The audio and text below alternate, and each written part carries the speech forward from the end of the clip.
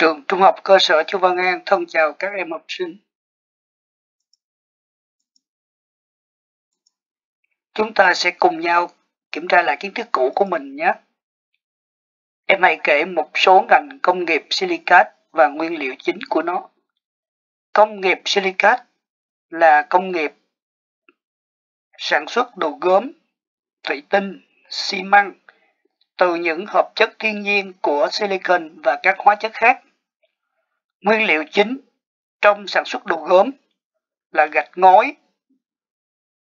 Các nguyên liệu đó chính là đất sét, thạch anh, phenpat. Trong sản xuất xi măng, người ta dùng nguyên liệu đất sét, đá vôi, cát, một số chất khác. Trong sản xuất thủy tinh, thì nguyên liệu chính là cát thạch anh hay là cát trắng, đá vôi và soda Na2CO3. Hôm nay chúng ta sẽ tiếp tục sang bài 31, sơ lược về bảng tuần hoàn các nguyên tố hóa học. Phần này chúng ta sẽ tìm hiểu 4 đề mục.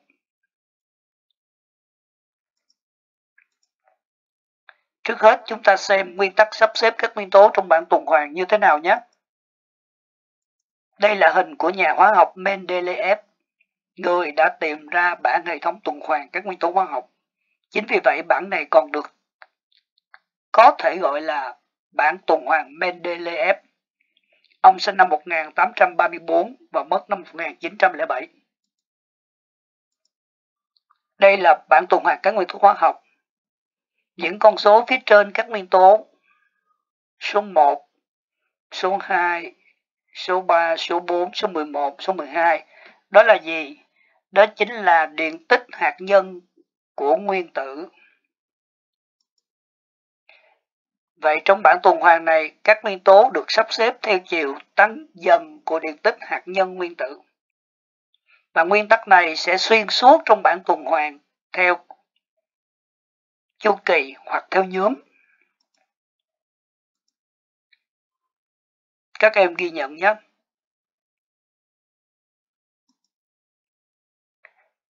Cấu tạo của bảng tuần hoàn như thế nào? Trước hết chúng ta sẽ tìm hiểu một ô nguyên tố Ví dụ lấy ô số 12. Số 12 này người ta gọi nó là số hiệu nguyên tử.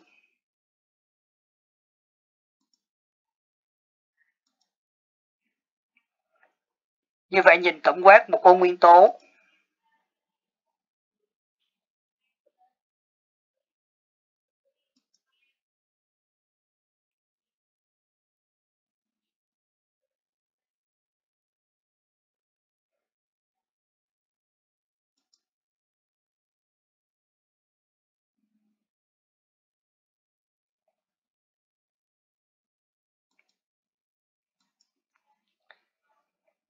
một hàng như vậy được gọi là một chu kỳ.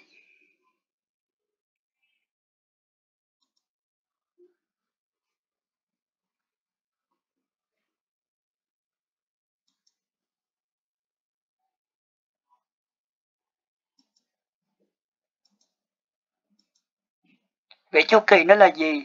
Chu kỳ là dãy các nguyên tố mà nguyên tử của chúng được xếp theo chiều điện tích hạt nhân tăng dần các em có thể hiểu một cách đơn giản, chu kỳ là một hàng ngang vẫn tuân theo nguyên tắc xếp là chiều điện tích hạt nhân tăng dần. Phần tiếp theo, chúng ta xét về nhóm. Nhóm là một cục dọc.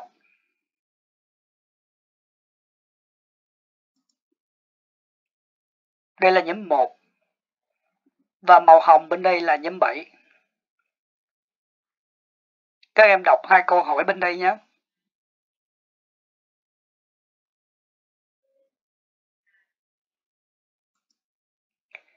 Trong cùng một nhóm, điện tích hạt nhân nguyên tử tăng dần, vẫn theo cách xếp tăng dần được tính hạt nhân nguyên tử.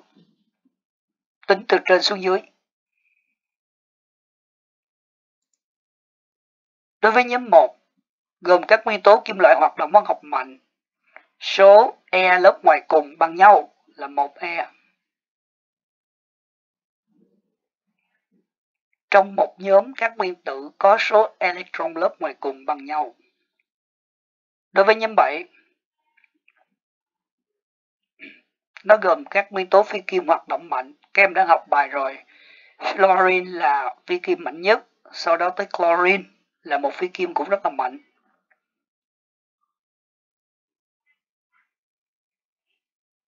Nhóm 7 thì nó có 7 e lớp ngoài cùng. Nhóm 1 thì có một e lớp ngoài cùng. Và trong một nhóm, các nguyên tử có số electron lớp ngoài cùng bằng nhau. Vậy chúng ta cần ghi nhớ gì? Nhóm gồm các nguyên tố mà nguyên tử của chúng có số electron lớp ngoài cùng bằng nhau và do đó có tính chất tương tự nhau, được xếp thành cột theo chiều tăng của điện tích hạt nhân nguyên tử là số thứ tự của nhóm bằng số electron lớp ngoài cùng của nguyên tử.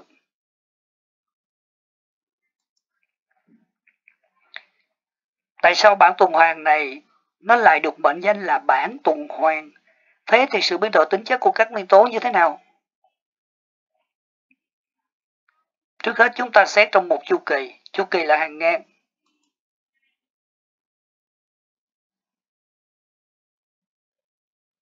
Các em nhận xét gì về tính kim loại của ba nguyên tố này? Tính kim loại sẽ giảm dần. Bắt đầu một chu kỳ là một kim loại mạnh, sau đó tính kim loại sẽ giảm dần. Hết chu kỳ đó thì lặp lại lại là một kim loại mạnh và giảm dần tới cuối chu kỳ. Kết thúc chu kỳ là khí hiếm.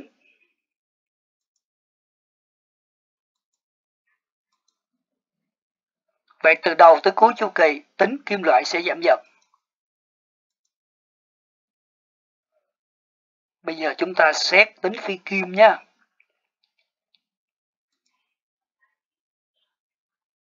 Cl hoạt động mạnh hơn S. Đây. Đây là đầu chu kỳ, đây là cuối chu kỳ. Như vậy, tính phi kim sẽ như thế nào nhé? Giờ xét tiếp. OVF rõ ràng fluorine F mạnh hơn O. Vậy thì tính phi kim sẽ như thế nào các em? Tính phi kim nó lại tăng dần. Tính kim loại giảm dần, tính phi kim tăng dần từ đầu tới cuối chu kỳ. Và chúng ta rút ra kết luận. Rồi các em nhớ, chúng ta chỉ cần thuộc tính kim loại thôi. Tính phi kim nó sẽ ngược lại. Từ đầu tới cuối chu kỳ tính kim loại giảm dần. Vậy thì ngược lại tính phi kim sẽ tăng dần. Vậy chúng ta xét trong một nhóm nhé. Nhóm là cột dọc Đây là nhóm 1. Xét từ trên xuống. Rồi, K với Na thì K mạnh hơn Na. Như vậy tính kim loại như thế nào? Từ trên xuống, nó sẽ tăng dần.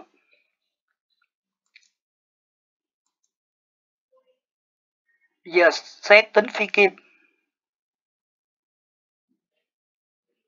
F và C là phi kim nào mạnh hơn? F là phi kim mạnh nhất. Ở trong bài tính chất của phi kim chúng ta đã biết điều đó.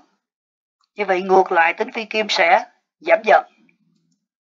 Vậy chúng ta cần nhớ từ trên xuống dưới trong một nhóm tính kim loại tăng dần. Vậy tính phi kim như thế nào? Hồi nãy mình nói rồi nó sẽ ngược lại. Tính phi kim giảm dần. Vậy tổng kết lại, các em chỉ cần nhớ một ý thôi, đó là trong một chu kỳ từ đầu tới cuối, tính kim loại giảm dần, vì ngược lại tính phi kim tăng dần. Qua nhóm thì nó lại ngược với chu kỳ. Từ trên xuống dưới thì tính kim loại lại tăng dần, tính phi kim lại giảm dần. Nhớ một ý thôi, suy ra ba ý còn lại nhé bản tuần hoàn này có nghĩa như thế nào? Nếu chúng ta biết vị trí của nguyên tố, có thể suy đoán, cấu tạo nguyên tử và tính chất của nguyên tố. Ngược lại, biết cấu tạo nguyên tử của nguyên tố, ta có thể suy đoán vị trí và tính chất của nguyên tố. Ví dụ, bài 4 trong 103. Biết nguyên tố A có số người nguyên tử là 11. Chu kỳ 3 nhóm 1. Hãy cho biết cấu tạo nguyên tử A. Số hiệu nguyên tử là 11. Như vậy, nguyên tử này có số được tính hạt nhân là 11. Tức là 11P. Mà số P bằng số E. Vậy nó có 11E. Chu kỳ 3 là số lớp E. Nguyên tử này có 3 lớp electron. Nhóm 1, nhóm là số electron lớp ngoài cùng. Vậy nguyên tử A có mấy electron lớp ngoài cùng? có một electron lớp ngoài cùng. Vì nó ở nhóm 1 là đầu là đầu của một chu kỳ. Có tất cả 8 nhóm. Như vậy tính chất hóa học đặc trưng của nguyên tố A là tính kim loại. Nhóm 1, nhóm 2, nhóm 3 tính chất đặc trưng là tính kim loại nha. Nhóm 5, nhóm 6, nhóm 7 là tính chất phi kim đặc trưng. Đây, nguyên tố A. Số hiệu nguyên tử là 11.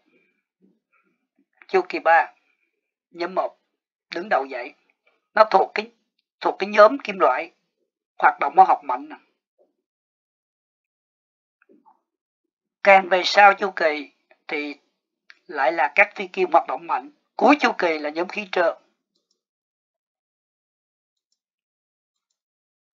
Ví dụ thứ hai, nguyên tử của nguyên tố X có điện tính hạt nhân là 16 cộng, 3 lớp E và 6 E lớp ngoài cùng. Hãy cho biết vị trí của X trong bảng tuần hoàn và tính chất cơ bản của nó. Điện tích hạt nhân là 16 cộng, vậy là nó ở ô số 16. 3 lớp E là chu kỳ 3, 6 E lớp ngoài cùng. Lớp E lớp ngoài cùng đó chính là số nhóm. Vậy nó ở nhóm 6. Đây, 16 đó chính là S.